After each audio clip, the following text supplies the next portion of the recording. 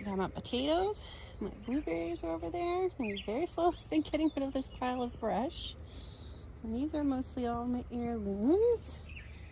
They're starting to come in, a little black, I think they're called black Krims. And here. And these are some really funky ones. Looking ones over here. I don't see them, but yeah, like gold green stripes and they just kind of turn this yellow color from what I can tell. Got another little set of carrots going for later this year. My zucchini's looking a little sad, but I've had a couple off of it. And I got big old onions in here. And all in here. And I did not do well with garlic this year. All of my have died at this point. I'll have to try for a winter crop. And these are supposed to be leeks.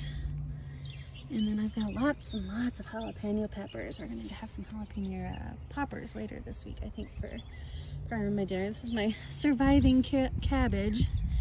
I need to check for worms again because they go to town on it. And I got watermelon. So I pulled up all my carrots. And little Santa Fe Grandes over there, turning red.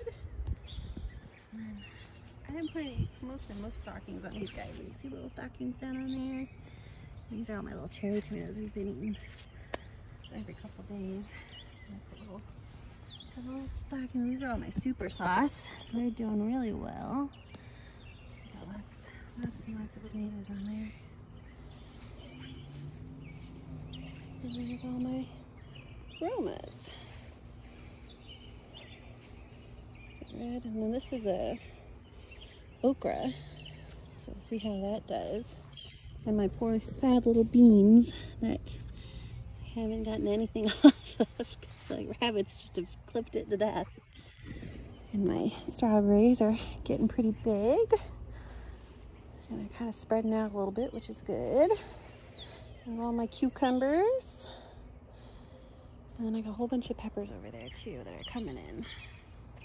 So everything's looking pretty good. I haven't had too many problems with bugs, just a little bit with the rabbits and the squirrels, but I got a big old bell pepper down in there.